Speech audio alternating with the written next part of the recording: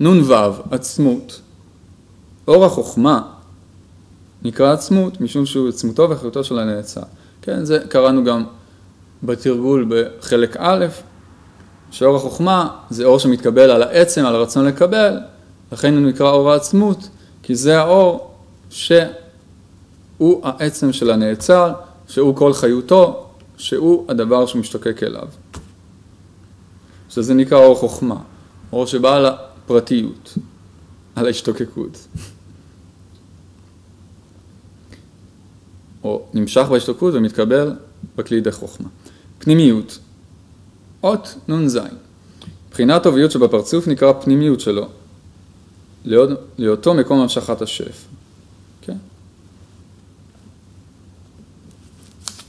פנימיות וחיצוניות, ראה תשובה נ"א, אז הסברנו את זה.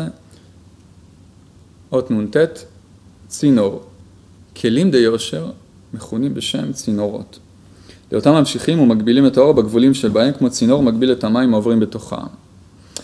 כן, הצינור מייצג את החוק המדויק, את הכלי המדויק לקבלת האור העליון.